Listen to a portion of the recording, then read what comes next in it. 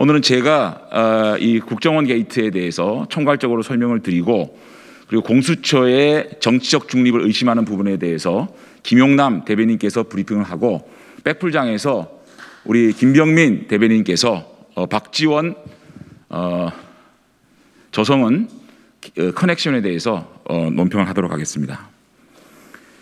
문재인 정권에게 요구합니다. 선거 중립 내각을 구성해 주십시오. 박지원 게이트 수사 촉구 하루 만에 그 실체가 조성은 씨 육성을 통해 만천하에 드러났습니다. 어제 SBS와의 인터뷰에서 조성은 씨는 허위 폭로 타이밍을 박지원 국정원장, 뉴스버스 이진동 기자와 협의했다라고 스스로 실토했습니다. 박지원 게이트가 사실이었음을 명백히 증명한 것입니다. 괴문서 하나가 나오자마자 국가기관은 마치 기다렸다는 듯이 일사불란하게 움직였습니다. 민주주의를 짓밟고 국가 권력을 동원해 죄 집권하려는 참혹한 시절의 망령이 되살아났음을 온 국민이 목도하고 있습니다.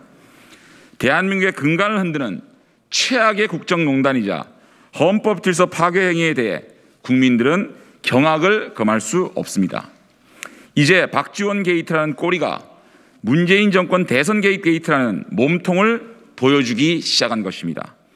검찰, 공수처, 국정원 등 대한민국의 모든 권력기관이 총출동하여 윤석열 죽이기에 혈안이 되어 있습니다. 윤석열 한 명만 잡으면 정권 연장의 야욕이 이루어질 수 있다고 믿기 때문입니다. 울산시장 선거 개입 사건과 드루킹 사건에서 보듯이 집권 세력은 선거에 개입하고 여론을 조작해 왔습니다. 울산시장 자리도 내버려두지 못하는 현 정부가 차기 대통령을 보고만 있겠습니까? 국정원장과 제보자의 정치공장 모의가 드러난 이상 이 사건은 국정원과 검찰, 공수처와 같은 국가 권력기관과 어디까지 내밀하게 연결되어 있는지 명백하게 밝혀야 합니다. 그리고 권력이 야당의 유력 대선 후보 죽이기에 어떻게 총동원되었는지 샅샅이 파헤쳐야 하겠습니다.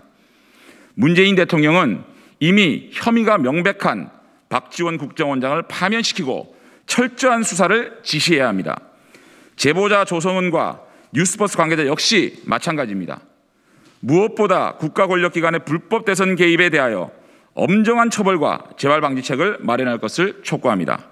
아울러 문재인 대통령은 도저히 공정선거를 기대할 수 없는 내각 인사를 사퇴시켜야 합니다.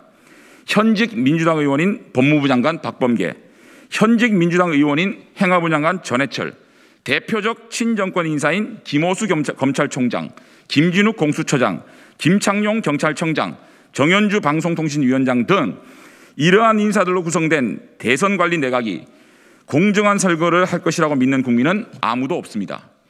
이들을 즉각 사퇴시키고 중립적 인사로 교체하여야 합니다. 문재인 정부는 이러한 국민적 의심을 해명하고 다음 대선을 공정하게 치러야 합니다.